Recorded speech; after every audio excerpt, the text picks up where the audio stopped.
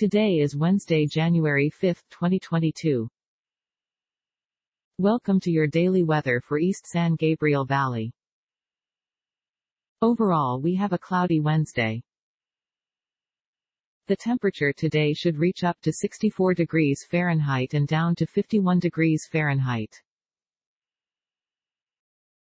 Humidity is at 28%. You can expect no rain today. Not many clouds. We've got light breeze today at about 3 miles per hour. No weather alerts at the moment. And that's the whole weather report. Have a nice day.